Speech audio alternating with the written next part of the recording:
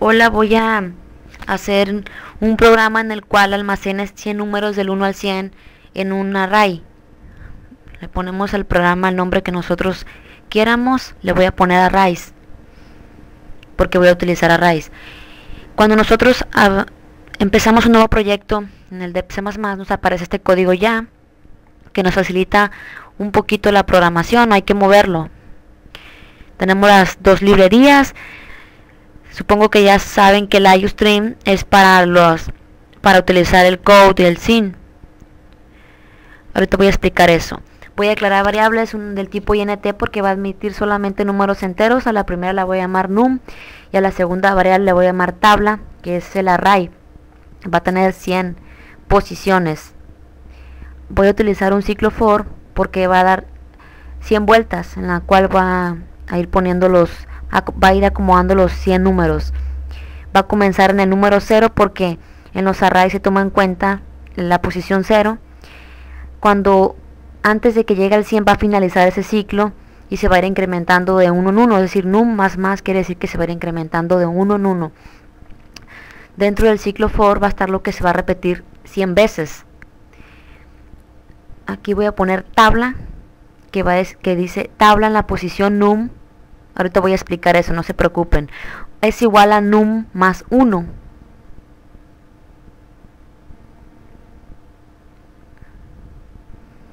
Voy a acomodar un poquito aquí la llave para que se vea no se vea tan desastroso.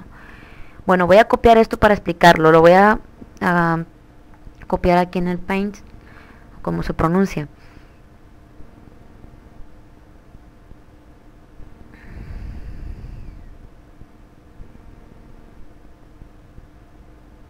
Tenía rato que no subía video.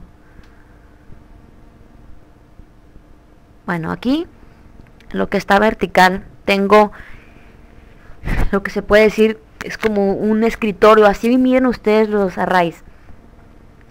Es como un escritorio como que está verticalmente en el que voy a acomodar cosas. El de arriba viene siendo el cajón cero. Recuerden que los arrays toman en cuenta el cero. Y va a llegar hasta el 9 porque son 10 posiciones, es decir, 10 cajones en los que voy a acomodar algo. En este caso no vamos a poner que simplemente cantidad, voy a acomodar 10 cosas. La posición 0, de la posición 0 a la posición 9.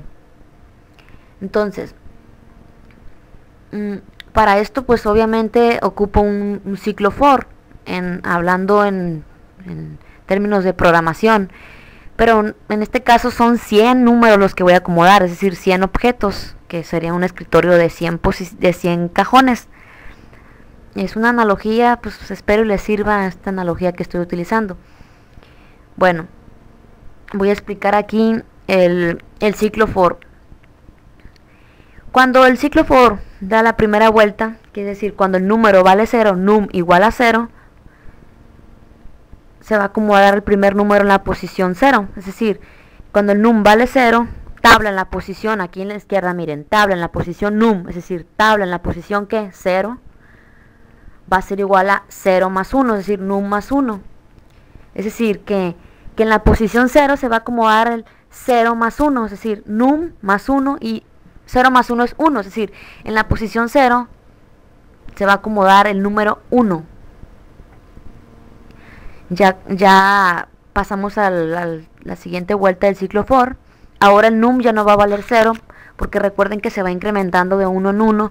Ahora num va a pasar a, a valer 1. Entonces cuando num valga 1, tabla en la posición num, es decir, tabla ahora en la posición 1, es igual a num más 1 es decir, es igual a 1 más 1 y 1 más 1 es igual a 2. Entonces, el 2 se va a acomodar en la posición donde dice tabla, en la posición 1. Ahora el num va a valer 2. Num, num es igual a 2. Cuando num valga 2, tabla en la posición 2 va a ser igual a 2 más 1, es decir, va a ser igual a 3. Ahora en el ciclo for va, va incrementándose.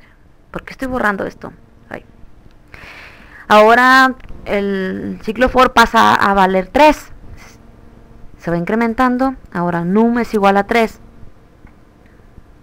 entonces num es igual a 3 y tabla en la posición num, es decir, en la posición 3 es igual a num más 1, es, igual, es decir, es igual a 3 más 1. Entonces 3 más 1 es 4 y el 4 se va a almacenar en la posición 3 y así sucesivamente hasta llegar a la posición 9, que es donde va a ir el número 10. En nuestro caso eh, va a llegar a la posición 99.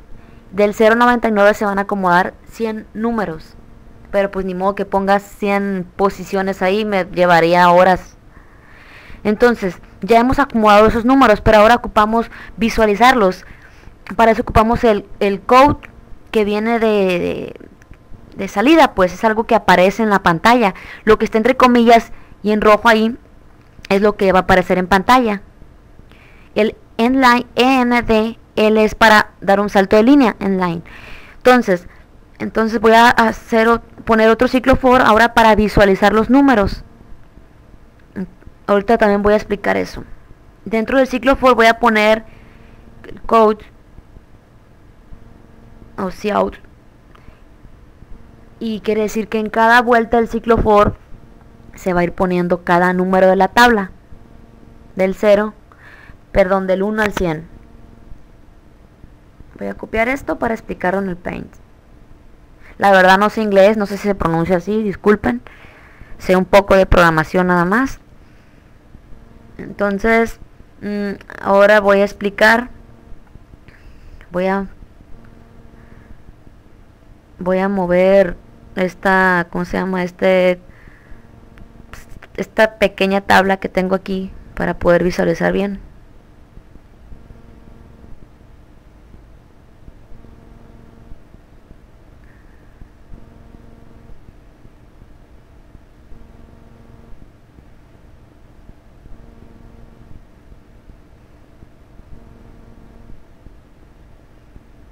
y ahora aquí voy a pegar el pequeño código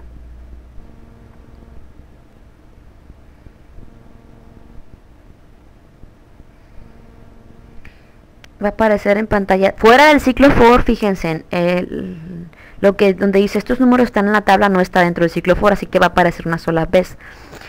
Dentro del ciclo for quiere decir que cuando el número valga 0 si el ciclo for valga 0 esté en el 0 va a aparecer el primer es decir, el, primer número de la tabla, es decir, tabla en la posición num, es decir, en la posición 0, se va a poner el primer número que ya habíamos en el primer ciclo, habíamos almacenado en la tabla.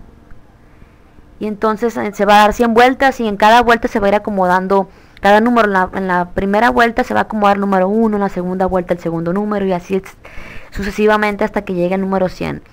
Y pues aquí el NDL, que significa final de línea, salto de línea, pues es para dar un orden. No sé, es una costumbre que ya tengo. Vamos a guardar el programa, ahora vamos a compilar para que me crean, porque si no, no me van a creer. Ahora vamos a compilamos, luego corremos y así se, se, si se dan cuenta, para que vean que no les he hecho mentiras, pues ahí están los 100 números, como un escritorio, nada más que no se miran los, los, los lados, pues, pero pues, se pueden poner, pero en otro video voy a explicar eso. Y pues ya hemos finalizado este programa, pues, pero si ustedes quieren, pues poner un bonito mensaje, no sé, al final, pues lo vamos a hacer. Aquí al final voy a poner adiós y hasta luego. Y para eso voy a ocupar esto, un code o si out. Entre comillas va a decir adiós, hasta luego. Espero les haya servido un poco. Y ya, pues aquí dice adiós hasta luego.